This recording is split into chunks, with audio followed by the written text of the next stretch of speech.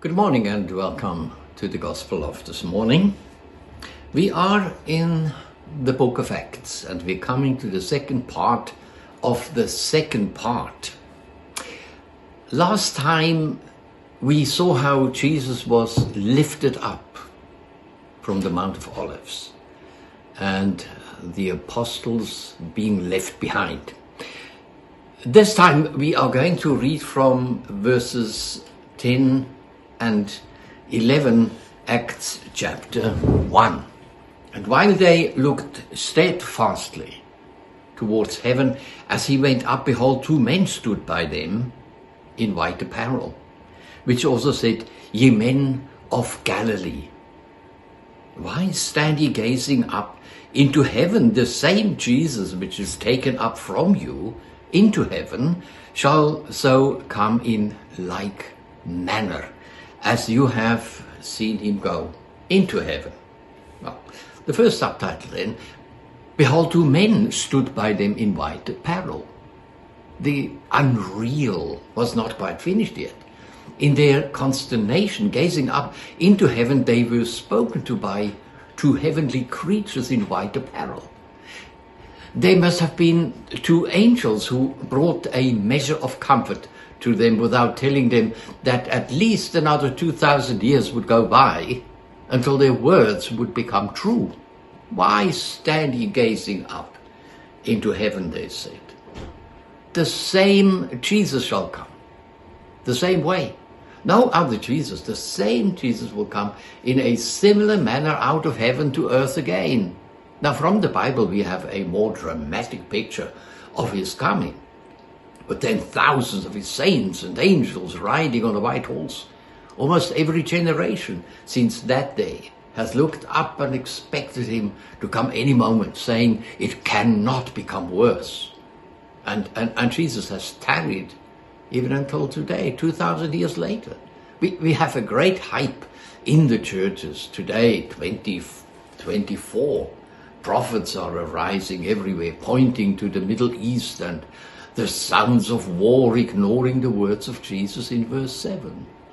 It, it is not for you to know. No, no. They, they say, we, we do not give the hour or the day. We, we just point to the signs of the season. Hmm. The season is already two millennia old. It seems to be more important to discern the times than to prepare for it. Now, and then verses 12 to 14, then returned they unto Jerusalem from the mount called Olivet, which is from Jerusalem a Sabbath day journey, and they went. And when they were come in, they went up into an upper room, whereabout Peter and James and John and Andrew and Philip and Thomas and Bartholomew and Matthew and James, the son of Alphaeus, and Simon Zelotes and Judas, brother of James. Well, they returned unto Jerusalem is our subtitle. They did not get scattered, each one turning to his own side. They, they did what Jesus had commanded them to do. They returned to Jerusalem it also gives us an indication from where they had come, namely from the Mount of Olives. And we now even know how far from Jerusalem it was, a Sabbath day journey. They, they went to the famous upper room where we have the 11 remaining apostles mentioned, then a number of unnamed women and Mary, the mother of Jesus. Added to them were the brothers of Jesus, who by this time were believing on the Lord Jesus Christ. Now, these all continued with one accord. They had no idea what to do there. And they did what was the right thing to do. They prayed and made supplication to the Lord. From what had happened on the day before Jesus' crucifixion and the words that he had spoken to them, they could presume that the Lord was now in heaven, sitting at the right hand of the Father glorified. To pray was the most natural thing to do if, if they wanted to be in contact with Jesus. And, and this is what they did. But there was still something lacking. There were only 11 apostles of the Lamb. And then we begin to read in verses 15 to 17, and in those days Peter stood up in the midst of the disciples and said, the number of them were about 120 men and brethren. The scriptures must needs to be fulfilled, which the Holy Ghost by the mouth of, mouth of David spoke before concerning Judas, which was guide to them that took Jesus. For he was numbered with us and had obtained part of this ministry. Now, in those days, Peter stood up. We, we have here 120 followers of Jesus gathered together in the upper room.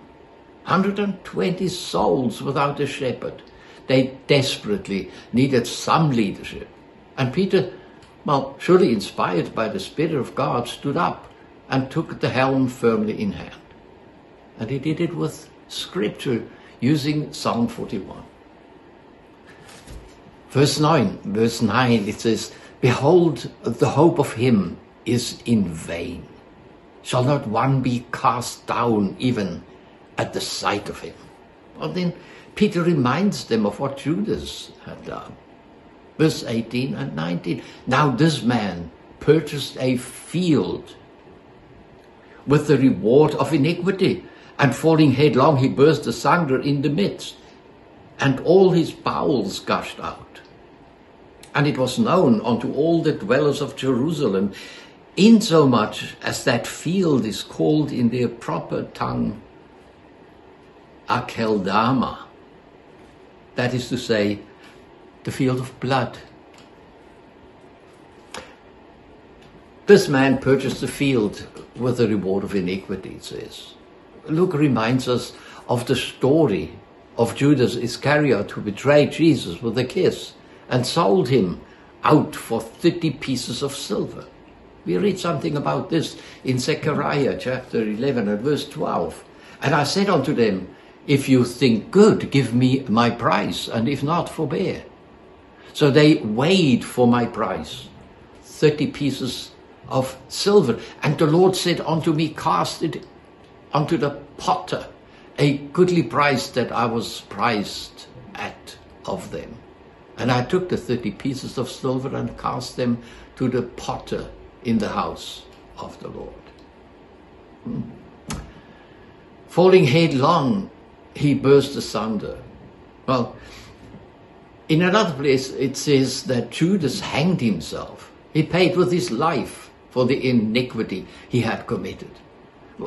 Why we have two different accounts of how Judas's death is described has been debated. Some say that he had hanged himself and then he was cut down from the tree and he fell headlong and burst open. Well, after Judas had brought the money back to those who gave it to him, they could not put it back into the treasury as it was blood money. They took the 30 pieces of silver and bought a field from the potter as a graveyard for foreigners and named it the field of blood. And then we come to verses 20 to 22. For it is written in the book of Psalms, let his habitation be desolate and let no man dwell therein. And his bishopric let another take. Therefore, of these men which have companied with us all the time that the Lord Jesus was with us, going in and out among us, being from the baptism of John unto the same day that he was taken up from us, must one be ordained to be a witness with us of his resurrection. Well, for it is written in Psalms, well, Psalm 69, verse 25, and 109, verse 8. All things concerning the Lord Jesus Christ has been documented as prophetic utterances in the Old Testament. Eleven apostles could only partially fulfill what God had purposed for all twelve. They are in the millennium going to be the twelve judges over the whole house of Israel. Uh, Judas, having been dismissed, had to be replaced, and Peter reminded the others that there was an empty chair to be filled. In God's plan, nothing is to be left out, and everything, to the last detail, is going to be fulfilled. We often ask ourselves, where, where is our freedom to choose? No, we are free to choose God or reject Him. We, if we are for Him, will be part of His eternal purposes. Election is always limited to purpose and not to a person in the first instance because God does not respect the person but gives us all an equal chance to respond to his calling. And here, a man had to be chosen to fulfill the gap where Judas left off. Peter set out some conditions and standards. He had to have been with Jesus from his baptism until his ascension. This man's initial calling would be to be a witness to the Lord's resurrection. No special witnesses were needed to testify of the three and a half years of Jesus' miracle working. Uh, everybody knew it. Even his enemies had to admit to it in their hearts. The apostles' great witness from the beginning of their ministry was the resurrection of Jesus. Uh, this made him the true Son of God. It is this fact that irritates the unbeliever. Well, until this far today, until um, next time, God bless you. Amen.